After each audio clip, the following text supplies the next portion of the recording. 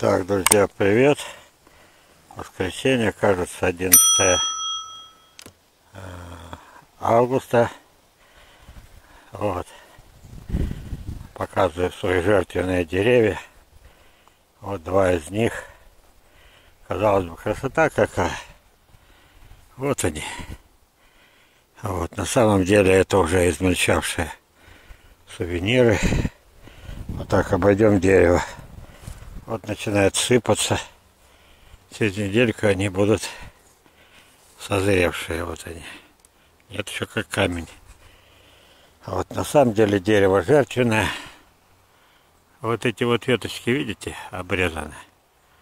Это я их резал. Это не сухие были, они были полноценные. И пошли к вам на саженцы, на прививку. Вон питомник Сергея Железова. Вот там они растут. Вот. А, а дерево из-за этого страдает страшно. Фактически оно умирает. Еще пытается плодоносить второе дерево. Тоже горько на него смотреть, видите? Я их с ними никогда не обрабатывал. Это мой принцип. И плодоносит. Так? Посмотрите внимательно. Нема, вот самая, наверное, лучшая ветка. Вот она плодоносит. Ни капли яду за ему примерно 15 лет, 18. Ни капли яда. Да, смотрите. Видите, кончики свернуты? Это тля. Вот она тля. Посмотрим, где а, муравьи, которых так ненавидят, зверски ненавидят лучших защитников сада когда прекратится это бардак этот. Ну давайте искать. Эй, а защищать кто будет? Что совсем наглость потеряли? Ну, два-три-то должно быть муравья на дерево. Этих, так сказать, постоянный патруль.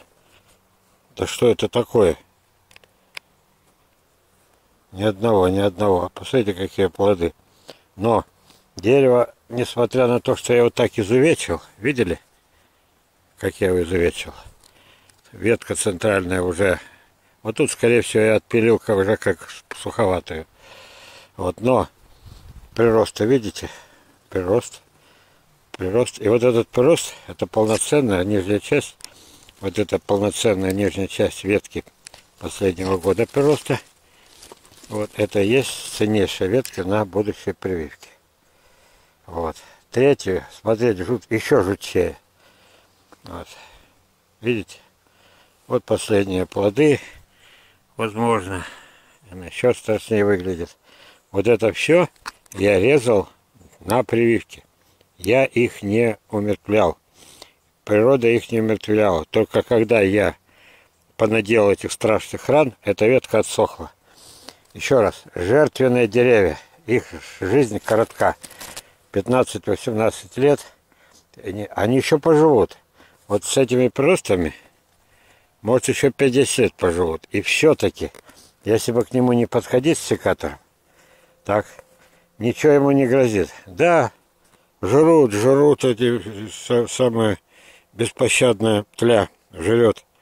Вот. Но не спутайте это все еще и с, с, с муравьями, которых ненавидят.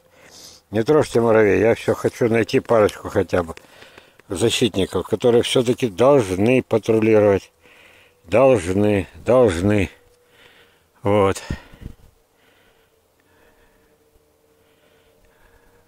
Ну, в общем, так. Найду, не найду, но связи между тлей и муравьями вы не увидели. Не увидели. Вот они. Тля еще и к тому же еще меня опозорили. Ни одного защитника. Что у вас там, перерыв, что ли, обеденный? Почему не ползаете по дереву? Не, я так, я успокоиться не могу. Что это такое? Давайте еще поищем.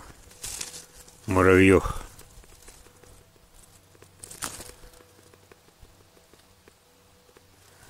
Да. Опозорили меня защитнички. Ну давайте посмотрим здесь на соседнем дереве. Вот он, ага, вот он, вот он, вот он, красавчик. Все, служба продолжается. Ну что, поняли, да? Деревья жертвенные, предназначены для того, чтобы давать вот такие мощные приросты. А он, прирост задерживается, видите, полгода, нет, не так, месяц-два росло. Прекрасные, идеальные почки, листики. Дальше скрутило. Вот этот период самый страшный, дальше снова пытается расти. Когда я отрежу вот здесь вот, оставлю несколько почек на развитие, вот здесь вот я получу раз, два, два-три этих побега на для того, чтобы они продлили свой род в виде вегетативной гибридизации. Вот это и есть чудо и чудес, потому что с косточки что-то вырастет, а что вырастет? Я никогда продаю косточки, да, Говорю, у вас тоже будут такие же эти, то есть их даже э, называют также сувенир Восток. А что вырастет, то вырастет. Вот. У сеянцев непривитых есть свои преимущества, но это будет тема другого разговора. Итак, жертвенные деревья. Итак, жизнь продолжается. Вот. Ну а в совсем другом месте растут потомки этих вот Отсюда брали светочки и переносились. И переносились. Все, друзья, посмотрели на полумертвое... Нет, на 20% мертвое дерево, 80% еще живое. Все. Благодарю за внимание. Я надеюсь, что этот фильм чему-то вас научит.